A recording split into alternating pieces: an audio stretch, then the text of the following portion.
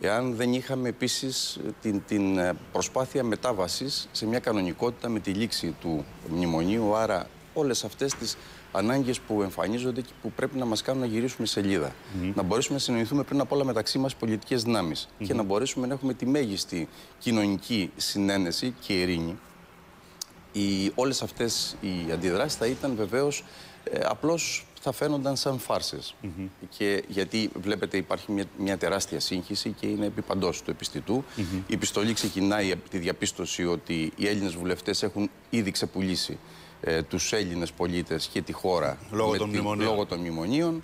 Ε, ακούσατε έτσι, Λέτε τη ότι συνωμοσιολογία. συγχέονται όλα επί είναι της όλα. Είναι, είναι σε μια βαθιά σύγχυση. Εντάξει, ο κάθε πολίτης έχει προφανώς το, Το δικαίωμα. συνδέουν να- με την εθνική να κυριαρχία. εκ- να Τώρα, το εκτιμάει. ακούσατε και από την κυρία Αλεξάκη. Σου λέει δεν Και έχουμε βεβαίω πια την εθνική βεβαίως κυριαρχία. οι βουλευτές, επειδή δεν στέκονται στο ύψος των περιστάσεων, επειδή δεν τους διακρίνει η εθνική συνείδηση, είναι έτοιμοι να ξεπουλήσουν και τη χώρα. Μιλάμε για την ακυρεότητα της χώρας, μιλάμε για την υπόσταση της χώρας κτλ.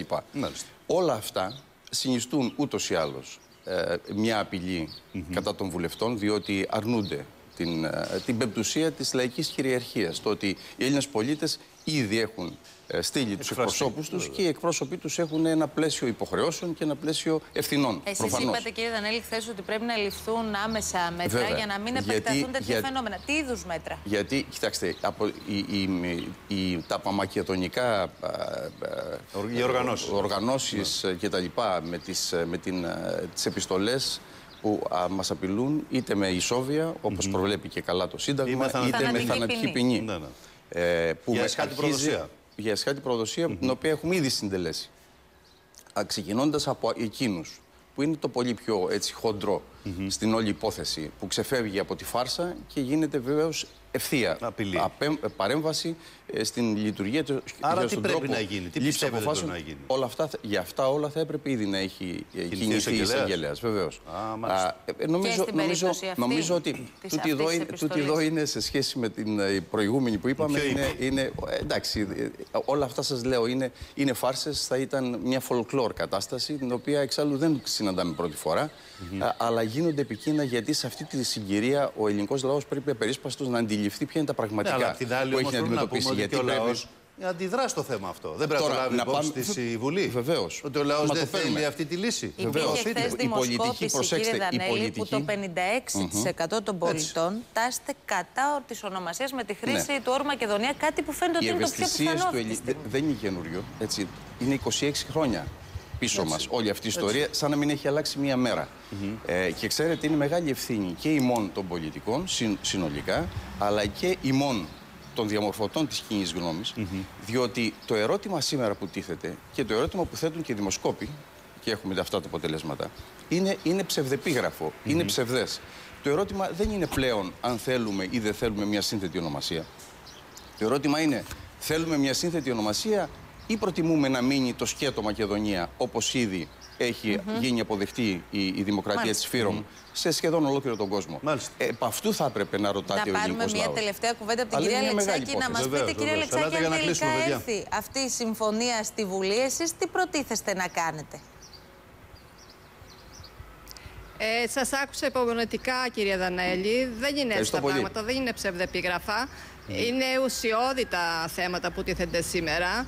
Ε, Προφανώς, όταν δεν γίνεται αποδεκτή η άποψη του ελληνικού λαού, εκεί θα, θα ληφθούν ε, κάποιες ε, ριζικές ε, διαδικασίες. Δεν νομίζω ότι ο κόσμος θα Ριζικές. μείνει με σταυρωμένα τα Όπως- χέρια να ανέχεται Ριζικές και τι αυτή Όπως την τι, σημαίνει, κατάσταση. όπως τι κυρία ακριβώς. Αλεξάκη, τι είναι το ριζικές; Όπως τι ακριβώς Ε, δηλαδή. ριζικές είναι να μην κάνει αποδεκτές, να διεκδικήσει.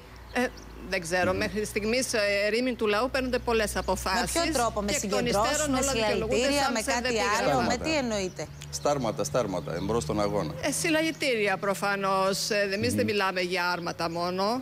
δεν μιλάμε για Α, άρματα. μιλάτε και για τα άρματα, συλλαγητήρια είναι δηλαδή. ο πρώτος λόγος.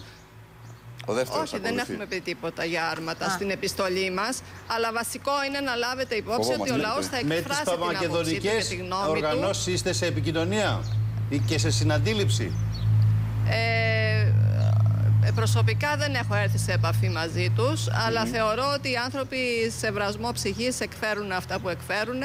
Ε, δεν είμαστε βέβαια χώρα σε εμπόλεμη κατάσταση καλά, αυτή τη προφανώς. στιγμή, παρόλο που ο πόλεμος είναι ακήρυκτος αυτή τη στιγμή ε, Μάλιστα. και βαλόμεστα από Κυρία παντού. Αλεξάκη, σας ευχαριστούμε Ε, πολύ. Να μιλάμε για... Θα επανέλθουμε, κύριε Αλεξάκη. Το θέμα τη χελιού δεν Ακριβώς, σας τελειώνει. ευχαριστώ. Ανοιχτό Να παραμένει είστε ακόμα καλά. και η υποσυζήτηση. Σας ευχαριστούμε πολύ. Να είστε Κύριε καλά. Δανέλη, ευχαριστούμε. Καλημέρα Το σας, κύριε 90 Δανέλη. Α, Επειδή αναφερθήκατε στην ιστορία, γιατί βλέπετε όλα επαναλαμβάνονται Ακριβώς. ως φάρσα βέβαια, τε- στις 19 Πέμπτου του 92, έτσι πόσα χρόνια πριν, ε, είχε γίνει ένα θέμα το οποίο κινδύνεψε να μας δημιουργήσει και διπλωματικό πρόβλημα, γιατί η Washington Post δημοσίευσε ότι στην Κρήτη δημιουργείται ταξιαρχία θανάτου έτοιμη να εκστατεύσει τα Σκόπια. Οι οποίοι Μάλιστα. δήλωναν ότι είχαν ήδη 1.100 άνδρες και 130 γυναίκες με οπλισμού Άρα, κτλ. ζούμε Και ο πα- τοπικός πάνω κάτω τύπος, την ίδια ιστορία, ο- λέτε. ο- Μάλιστα. Ναι, ο, ο, ο κ. Ελπίζουμε όχι με Μητσοτάκης την ίδια τότε ένταση. παρενέβη ο ίδιος. Μάλιστα. Είχαμε. Ε, αν έτσι. τον άφηνε τον Αλλά Μητσοτάκη θα το βλέπετε- είχε τελειώσει το θέμα, κύριε Ναι, Δανέλη. Το Ευχαριστούμε, ξέρετε. κύριε Δανέλη. αλλά Βλέπετε, ο κύριος δυστυχώς- Σαμαράς όμως έστησε την δυστυχώς την πολιτική του πατήσαμε τότε. καριέρα έτσι μέσα από αυτή την ιστορία. Δηλαδή Καλημερίζουμε. πατριωτοκαπηλεία πουλάει δυστυχώς. Πουλάει ακόμα. Γεια σας, Ευχαριστούμε κύριε πολύ. Δανέλη. Σας ευχαριστώ Καλή πολύ. Γεια σας, συνέχεια. Δανέλη, καλημέρα. Ελάτε να επιστρέψουμε τώρα, κυρίες και κύριοι, στα τρέχοντα, γιατί